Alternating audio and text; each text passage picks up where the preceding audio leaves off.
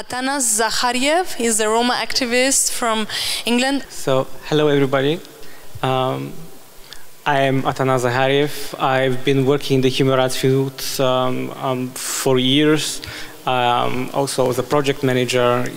Um, now in UK, I'm also working on project management on issues related to education and building uh, global networks for organization called InHive Global.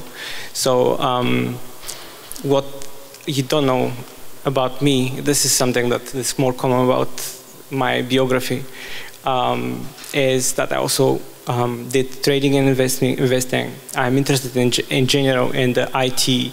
I'm also cybersecurity specialist, um, working um, on my own to understand how the global economy looks. And that's another so layer that I want to finance part. Yes, I'm interested in the finance part. I've been interested and fascinated the, the, how the real world works. And as we know, uh, we everything that evolves, politics evolves around economy, evolves about money.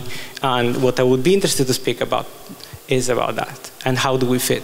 Like my colleagues already really painted very well what is happening. I'm just going to add one or two layers to see how do we play there.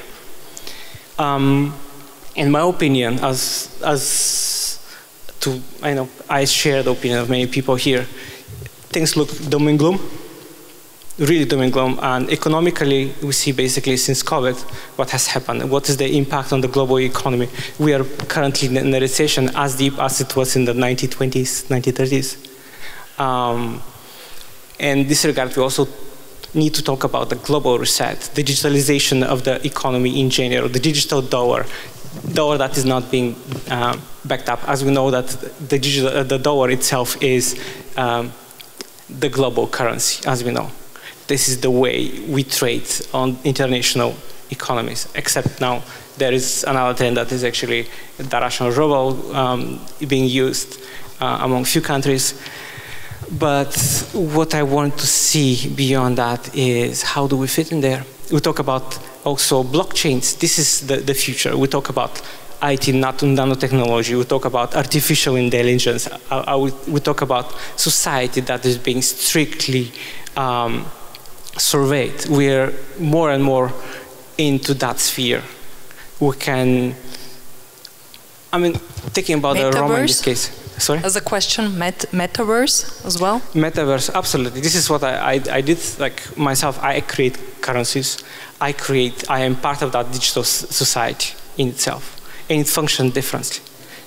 Everything is trackable. Everything is, is uh, there is nothing that you cannot be seen there.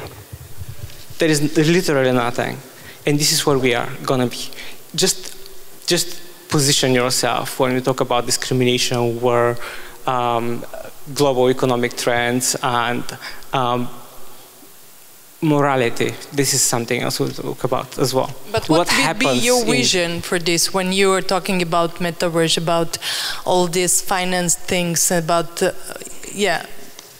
My vision starts from there. I needed to layer a little bit before I actually speak about my vision. Um, what I see happening globally is mass destruction mass destruction of the system as it is and recreation of a new system that is based on digital economy when people will be absolutely surveyed and dependent on the state and that the state that controls you more and more you are now we're living more in a plugged in society we as Roma also participate, maybe on the margin, but we're being seen. All our transactions, all our actions are being seen.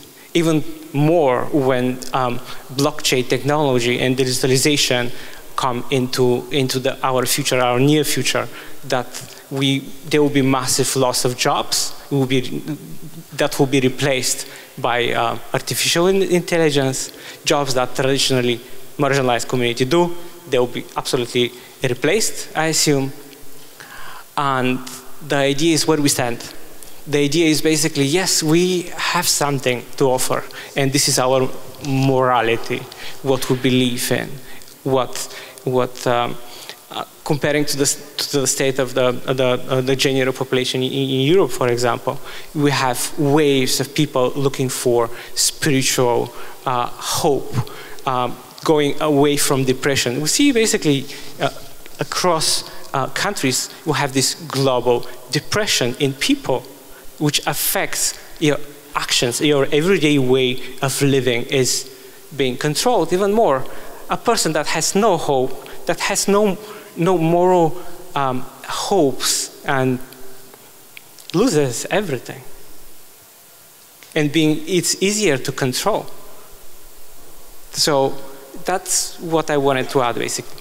If trends such as, you know, people looking more for faith in, in, in everyday actions, they actually can resist certain trends. They, they, in addition, what we should be actually looking into is uh, getting, being taking advantage of the, of the society, really, really educating ourselves how to take advantage of this emerging society. While people are still sleeping, uh, most of the people are sleeping, we need to, be, to wake up and to see what is possible. Of course, education is key. We need to educate yourself how to become part and how to be successful, to, to how to actually wave the trends of that newly established system that comes in. Otherwise, everything is doom and gloom. Thank you. Thank you, Atanas.